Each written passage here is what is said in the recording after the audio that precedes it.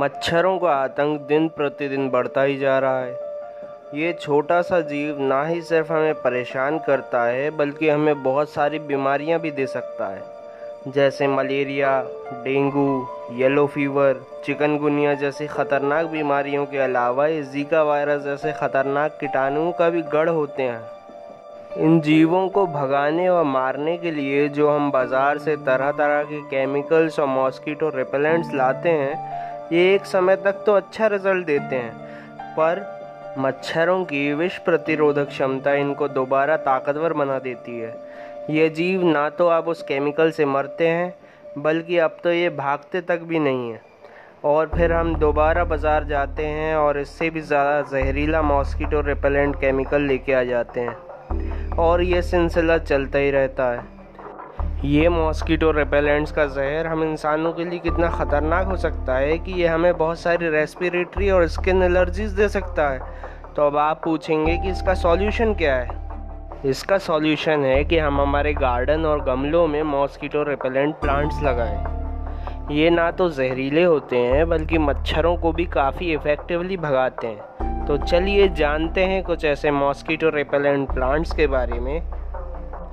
Number one citronella ये घास की तरह दिखने वाला पौधा बहुत ही कुशलता से मच्छरों को भगाता है, क्योंकि इसमें से आने वाली गंध इनको बिल्कुल भी अच्छी नहीं लगती है। और यही वजह है कि आज इन पौधे के तेल का इस्तेमाल मॉस्किटो रिपेलेंट्स अगरबत्ती और मॉस्किटो रिपेलेंट क्रीम्स में किया जा रहा है। Number two marigold marigold जिसे हम गेंदे के नाम से भी जानते हैं ये पौधे के फूल चमकीले और खूबसूरत होने के साथ साथ मच्छरों को भी दूर भगाते हैं। इसके फूलों में पाए जाने वाला कंपाउंड पायरीथ्रम ही इसकी खुशबू का कारण है, जो मच्छरों को बिल्कुल पसंद नहीं होती है। नंबर थ्री बेजिल बेजिल जिसे हम आम भाषा में तुलसी के नाम से भी जानते हैं, इस पौधे की पत्तियों से आने वाली खुशबू मच्छरों को बहुत ज़्यादा ही चुपती है।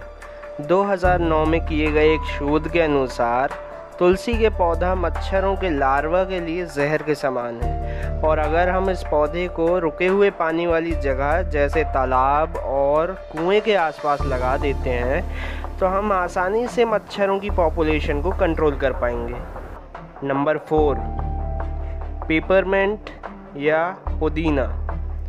इस पौधे की पत्तियाँ भी तुलसी के पौधे की तरह ही मच्छरों को दूर भगाती हैं। इस पौधे से बनने वाला पेपरमेंट ऑयल मच्छरों के लार्वा के लिए बहुत ही घातक होता है। इस ऑयल की एक से दो बूंद हम रुके हुए पानी वाली जगहों पर डाल सकते हैं। Number five lemon grass lemon grass एक बहुत ही पॉपुलर हर्ब होने के साथ साथ एक पॉपुलर ऑर्नामेंटल प्लांट भी है। इस पौधे में सिट्रल नामक कंपाउंड की मात्रा बहुत ही अधिक पाई जाती है। इसी कारण से ये पौधा बिल्कुल नींबू की तरह महकता है और ये खुशबू मच्छरों को बिल्कुल पसंद नहीं होती है। इस पौधे का तेल भी आज मॉस्किटो रिपेलेंट्स में इस्तेमाल किया जा रहा है। नंबर सिक्स गार्लिक गार्लिक को हम लहसुन के नाम से जानते हैं। ये हमारे खाने के टेस्ट को बढ़ाने के साथ साथ मच्छरों को भी दूर भगाता है।